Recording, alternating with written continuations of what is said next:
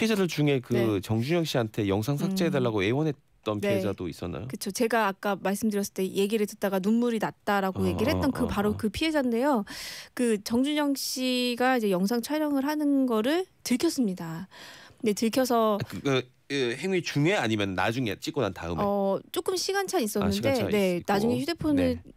이제 확인하는 과정에서 그 발견이 음. 됐는데 사실 우리가 뭐 발을 하나 발표해서 어 지금 제발 발표하셨잖아요라고 문제를 제기할 수가 있어야 되는데 이건 엄연한 피해자고 심각한 범죄 음. 피해를 입었는데도 불구하고 어 본인의 신상이 드러날까봐 어 고소를 못하는 건 당연한 거고 혹시라도 그 사람이 악의를 품고 그걸 유포시킬까봐 오히려 음. 애원을 하는 거죠. 음.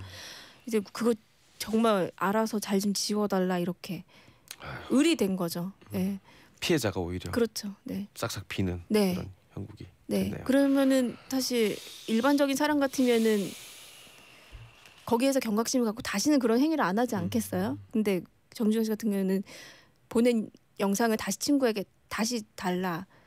걔가 지우고 갔다. 예. 지금 근데 입수된 그런 카톡이나 이런 게 네. 그2016 이후의 시점은 없는 거죠.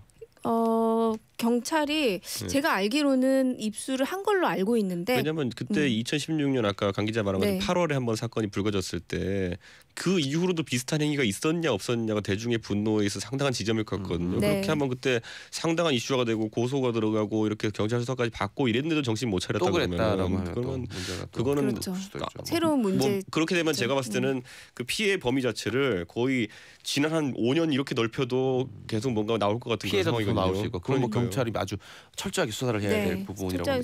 처음 듣는 얘기예요. 그 부분은 지금 그 이 강경윤 기자가 그 어떤 특정 피해자 한 분께서 영상을 지워달라고 했는데 그래서 그 자리에서 영상이 지워지긴 했는데 정주영 씨가 그거를 내가 전송을 해준 사람한테 야 음. 그거 다시 나한테 전송해줘라 그렇죠. 내게 지워졌다 음, 음. 이렇게 말한 네. 부분이 있다는 네, 거죠. 아주 장난스럽게 다시 겟 이렇게 얘기를 합니다. 겟이 다시 얻다 이런 뜻은 다시 겟 이렇게 얘기를 합니다. 음. 마치 그러니까 이런 게 범죄라는 걸 인식하지 못하면 물론이고요. 어떤 이런 거를 하나의 게임 같은 형태로 즐기고 있다는 거죠.